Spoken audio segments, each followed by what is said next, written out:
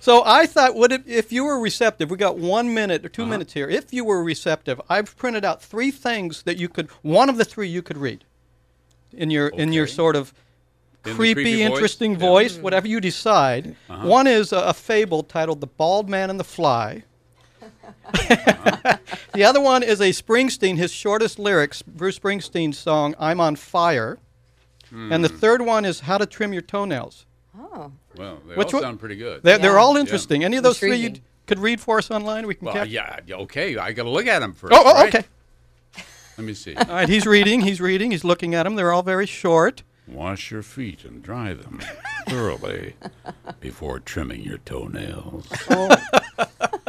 Use the proper tool to cut your nails, such as nail clippers or manicure scissors. It's too dangerous to use other sharp cutting tools, such as razor blades or knives, or regular scissors. That's beautiful. Try this. Try I'm on fire. sound, sounds like someone lost a toe. Oh no, that's just too sick. Ah. Hey, hey, little girl, is your daddy home? No, let me see. It's a classic song.